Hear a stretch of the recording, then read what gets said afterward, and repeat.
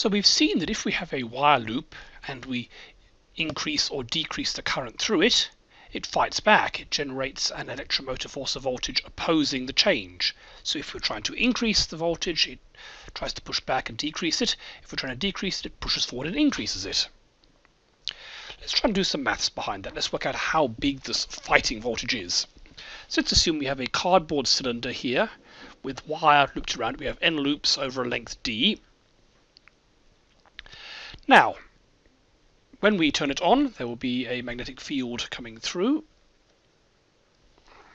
How big is that magnetic field going to be? Well, we know from the equation for a solenoid that the magnetic field is going to be mu naught n times the current over d.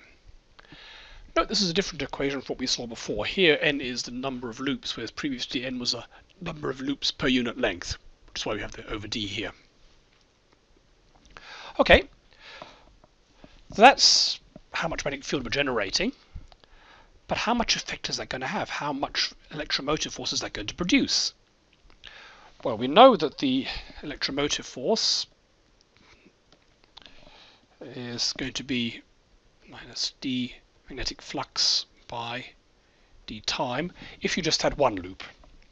So for just one loop, the magnetic flux is going to be the magnetic field, mu naught n I over d times the area, which is pi r squared for the circle here.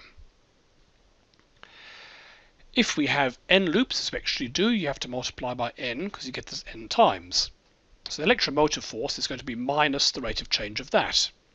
Now everything here is going to remain the same except for the current, so we can take them all out. So we get mu naught n squared pi r squared over d and then it's di by d time.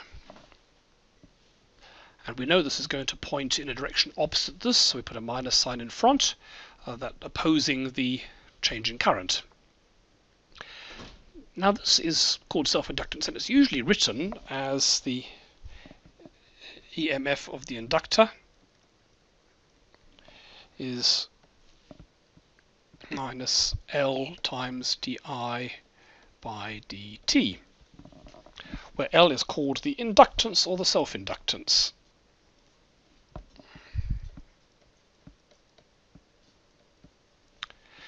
If we compare this version of the equation with that one, we can just see that the inductance in this particular case is equal to mu naught n squared pi r squared over d.